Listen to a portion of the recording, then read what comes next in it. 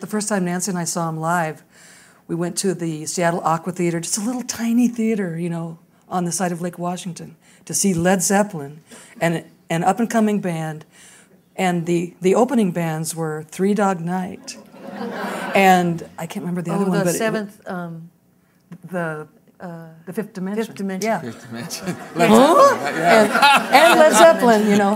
It was like like a Spinal Tap bill, And- but yeah, yeah. Really a we- variety show. like we sat through both the pop bands and then Led Zeppelin came on, and by the when they started doing the Lemon song, um, Nancy and I went, "Oh, we've had enough. We've just this is too much. This is too scary. This Did is you catch frightening." Innuendo. did, did you catch their innuendo? and like that was like a life changing moment, and we ended up leaving because we were so shocked. Seriously? Yeah. Seriously, They were left Led really- yeah, yep. I don't Well, believe we it. were Not pretty- understanding. Really? we were pretty bec- young. They were you know. challenging to young girls. Yeah. You know, very challenging, and They had tight jeans Just- too.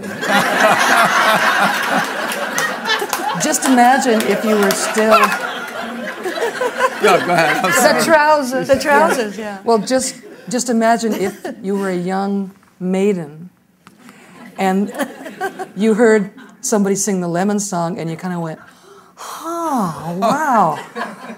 What's What? oh oh oh you know and it was really scary but you know of course then later we just you know when we were women it was yeah